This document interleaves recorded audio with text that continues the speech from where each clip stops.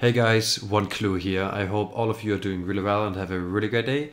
In today's video, I want to do a quick update to my how to uh, unrelay or how to fix the relay status and remote control your hotspot.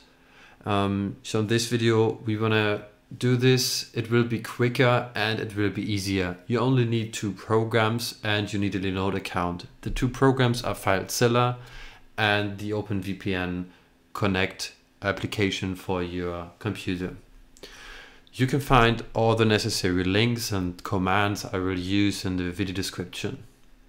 So while you have logged into your Linode account, you will click on create and then on Linode. After this, we will select Debian 11 and you will select your nearest region. For me, it's in Germany. I will select Nanode one gigabyte. I will give this puppy a name and I will create a password. After this, you're good to go. Just click on create Linode.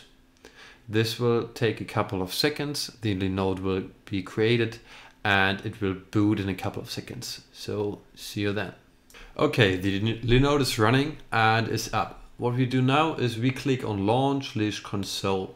This will open another window and here we will need to log into our Linode. The username is root, R-O-O-T, and the password is the password you set before. Just type it in. The next thing you want to do is you want to copy these uh, this from a video description and download this file.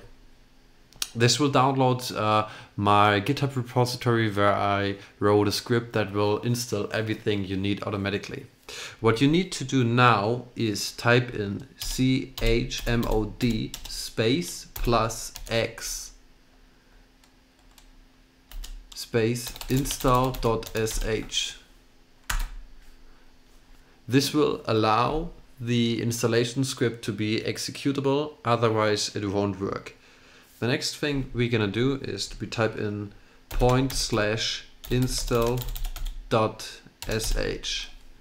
press enter and now the Linode will do everything you need to be done in just like seconds. So I will be back when we need to do the next step. So here we are. The first thing that pops up is the, is the IPv4 rules. Just press enter. IPv6 rules, press enter. And you're done.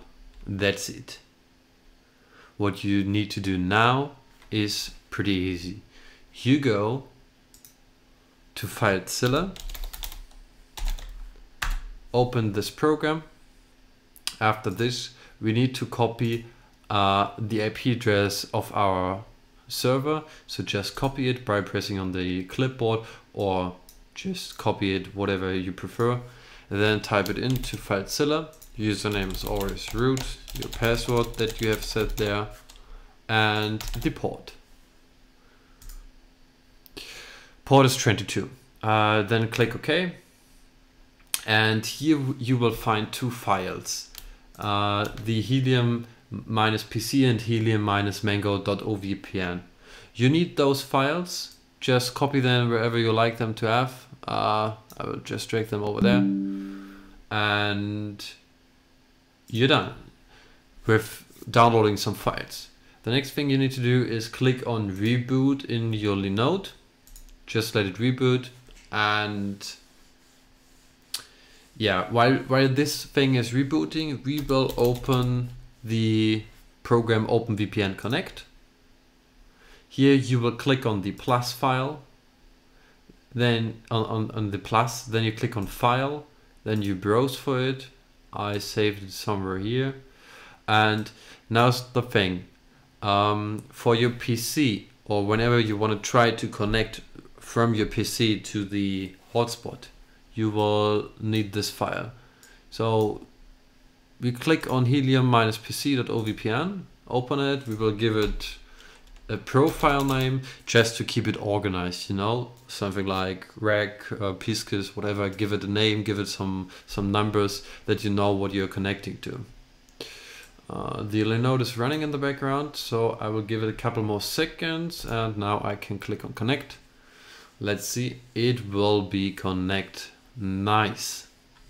So um, for educational purposes, I will disconnect of this server, but it will be the same. I do not have enough mangoes laying around, so I will need to connect to another one. But this will be the same. Um, as I mentioned in my last video, I, um, but I will explain it now really quickly. You need to go into your um, into your Mango, just set it up, plug it, plug it in, and um, when you have done so, just log into it. Um, basically, when you never change anything about your Mango, it will be uh, 192.168.8.1. This will be the standard uh, IP address of your Mango um, if you are logged in via Wi-Fi or via the LAN port. Both is possible. When you have done so, I, I will quickly go to the, another location. Uh, when you've done so, you will find uh, a window possibly likely like this. Um, if you never have set it up, it will tell you, hey, set me up, give me a password. Um, but I have already done so. Then we will log in. The important step you have to do first here is you click on upgrade. And if you have never done anything, uh, it will probably tell you something like this, um, that there's something to upgrade, etc. PDP. Um, but I will provide you an update file in my video description. Just download it, click on uh, local upgrade and drag it in here or browse for it. Just, just click on it and browse for it, whatever. Just do this and upload the update file and then hit the installation button. Let it do its thing, let it reboot, reconnect to it, and after this, we can go to the VPN section, click on Open VPN Client, and here you will find something like this, um, that it will tell you add a new OpenVPN configuration. Just click on it, click again on it, and for me, uh, I need to go to this direction and here we only select the helium minus mango.ovpn file. Select it, open it, it's uploading, give it a name. I name it helium test, submit it. And when you've done so, you can click on apply, then go back to status. Make sure that this button is there that you have access to local network. If this is not there, you need to do an upgrade of your Mango device. Um, and it need to be it needs to be done. If not, uh, just check it. This, this button needs to be checked. And then you can click on connect. What will happen then? Your Mango device will change its IP configuration and whenever you want to connect to it, you just go into your OpenVPN Connect, you look for the VPN you want to connect, connect to it, and in the browser type in 10.8.0.2. Press enter and you will find the overview of your hotspot. What I will not mention in this video is how you can set up your firewall on this device so that you can port forward it. Uh, for this, I got another video and I will link it to the right now. See you guys in the next one and thanks for watching.